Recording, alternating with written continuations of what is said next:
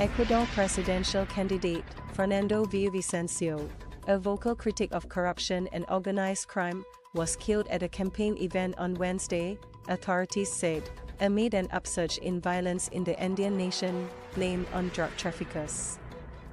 Local media reported some 30 shots had been fired at an event in the north of the capital, Quito. Video footage posted on social media showed Villavicencio getting into a car after the event.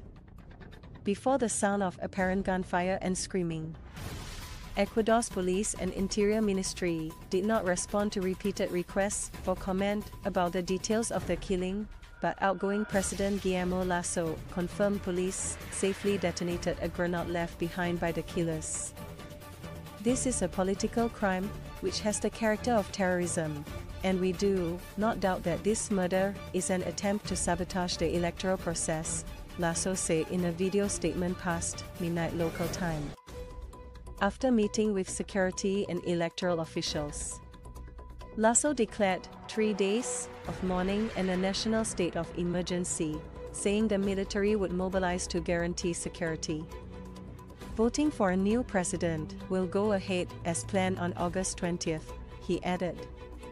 The Attorney General's office said one suspect in the crime later died of injuries sustained in a shootout. The violence injured nine other people, including a candidate for the legislature and two police officers.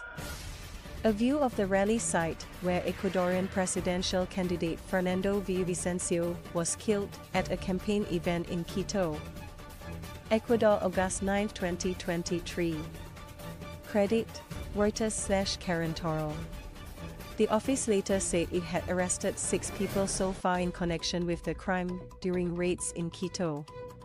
Lasso's government has blamed rising violence on the streets and in prisons on criminal infighting to control trafficking routes used by Mexican cartels, the Albanian mafia, and others to move drugs. Security concerns, along with employment and migration, are major voter concerns in presidential contest. Villavicencio had pledged to combat corruption and reduce tax evasion if elected. According to opinion polls, his support was at 7.5%, ranking him fifth out of eight candidates. Villavicencio's party Movimiento Construir said on X, formerly known as Twitter, that armed men attacked its Quito offices in a separate incident. The party said discussions had been held recently about whether to suspend campaigning due to political violence, including the July murder of the mayor of Manta. Villavicencio opposed the suspension, it said, saying keeping silent and hiding in moments when criminals assassinate citizens and authorities is an act of cowardice. The candidate, a former unionist and journalist, had on Tuesday made a report to the Attorney General's office about an oil business, but no further details of his report were made public.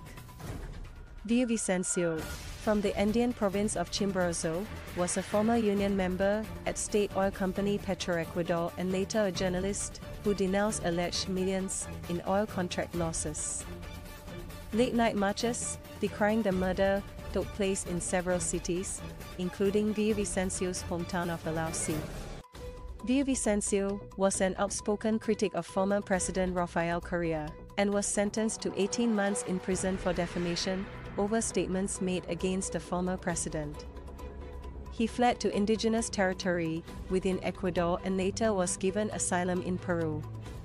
Ecuador has become a failed state, Correa, who now lives in Belgium, said on X. Hopefully, those who try to sow more hate with this new tragedy will understand that will only continue to destroy us. As a legislator, Villavicencio was criticized by opposition politicians for obstructing an impeachment process this year against Lasso, which led the latter to call the early elections. Other candidates in the race reacted with horror to the killing. This makes us all mourn, my solidarity to all his family and the people who follow his ideals. This vile act will not go unpunished. Presidential candidate Luisa Gonzalez, who is running for Correa's party, said on X, indigenous candidate Yaku Perez said he had decided to suspend his presidential campaign and demanded the violence stop in a video posted after the incident. Perez later said he was in contact with other candidates in pursuit of the pact for security. To the government, we don't want words. Act. We are dying, candidate Otto Sonnenholzner told a press conference. Today more than ever, the need to act with a strong hand against crime is reiterated. May God have him in his glory, presidential hopeful Jan Topic said on X, before also suspending his campaign.